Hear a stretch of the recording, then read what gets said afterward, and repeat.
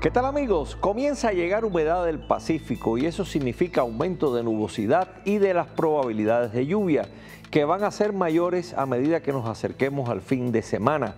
Para sábado y domingo esperamos eh, los días bastante lluviosos en buena parte de nuestro estado.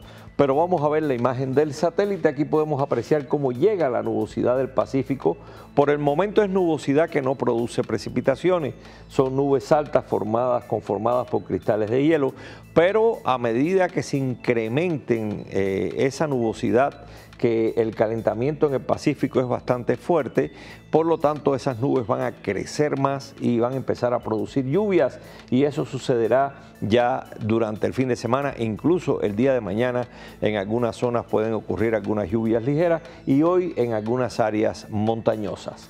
Pero así amanecía la zona metropolitana de Guadalajara con ese tipo de nubosidad que no produce lluvia por el momento y con inversión térmica. Hoy la calidad del aire puede ser regular en algunos puntos.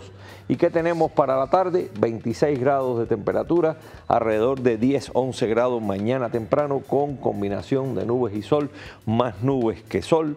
En Lagos de Moreno 25 por la tarde, 8 en el amanecer con poca nubosidad por el momento y también en Colotlán 26 por la tarde, 7 en el amanecer. Ciudad Guzmán también con nublados para el día de mañana y el día de hoy 27 de la tarde, 7 mañana temprano.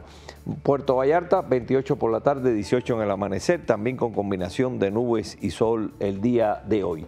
Y los próximos tres días, como les decía, vamos a empezar a ver eh, más nubosidad y por lo tanto más lluvias, lluvias que comenzarán a intensificarse a medida que avancen los días, sábado y domingo, y que va a disminuir notablemente la temperatura máxima. ¿Por qué disminuye?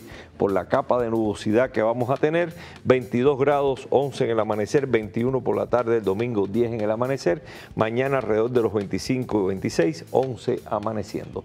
Ese es el tiempo. Continúe con nosotros aquí en La Señal de Todos.